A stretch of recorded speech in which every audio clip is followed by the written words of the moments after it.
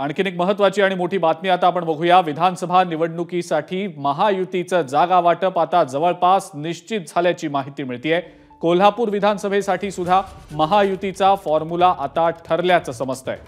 वीस ऑगस्टला अंबाबाईचं दर्शन घेऊन तीनही पक्षाचे प्रमुख जागा वाटपाचा फॉर्म्युला घोषित करणार असल्याचं समजतंय. उद्योगमंत्री उदय सामंत यांनी कोल्हापुरात तसेच संकेत देखील दिले.